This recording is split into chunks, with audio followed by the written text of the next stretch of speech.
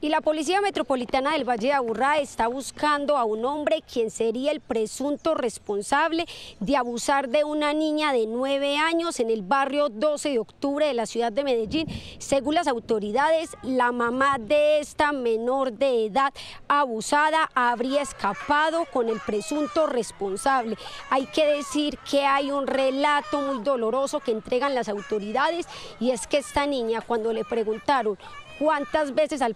había sido abusada, empezó a contar con los dedos de sus manos y contó más de 20 veces, por supuesto, hay rechazo por lo ocurrido.